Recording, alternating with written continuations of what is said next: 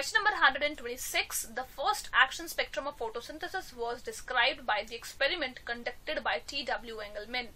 In his experiment, he used first action spectrum of photosynthesis was given by T.W. Engelmann and he used the green alga Cladophora. So the correct option for the given question is option number 3.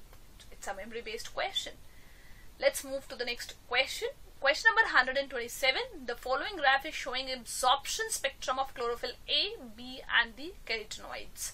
In the given representation, green region of the light spectrum lies. See here, this is the absorption spectrum of chlorophyll A, B and the carotenoids. Now, with the help of this graph, you can see that the chlorophyll A, B and the carotenoids, they absorb maximum in the region P, Q and the S. Between the Q and R, there is least absorption or you can say no absorption. It means this must be the green region because in green region there is no absorption of chlorophyll pigments. Now, the green region of light lies between Q and R? Yes. Beyond S? No. Between P and Q?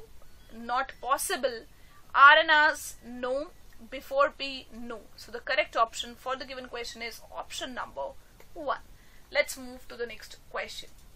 Question number 128. Non-cyclic photophosphorylation is not concerned with the production of. Non-cyclic photophosphorylation is also known as Z scheme which is for the ATP production in the chloroplast.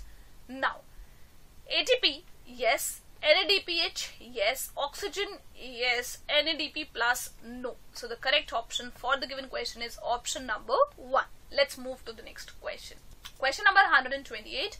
The plants having Kranz anatomy in their leaves use extra ATP to fix CO2 molecules as compared to the plants that do not have such anatomy.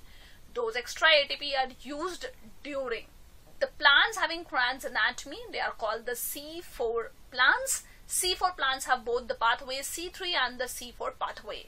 So number of ATP in the C3 pathway is same as that of the C3 plants but number of ATP used in the C4 pathway are extra and these are 2 ATP per CO2 molecule. So these are used in the C4 pathway not in the C3 pathway. So the correct option for the given question is option number 1. Let's move to the next question. Question number 130. During which of the following conversions occurring in the matrix of mitochondria, both NADH plus H plus and CO2 are formed? This is A is the step of the link reaction. So, pyruvic acid is converted into acetyl coenzyme A and here pyruvic acid is a 3 carbon molecule Acetyl coenzyme is a two carbon molecule. There is release of CO2 as well as NADH plus H plus. So yes, this is the step. Malic acid to oxaloacetic acid. Malic acid, it's a four carbon acid. Oxaloacetic acid, again four carbon. There is no release of CO2. C. Citric to alpha ketoglutaric acid. There is release of CO2 as well as NADH plus H plus also. Yes. Alpha ketoglutaric acid 5 carbon, succinic acid 4 carbon, there is release of CO2 as well as NADH plus H plus. Correct.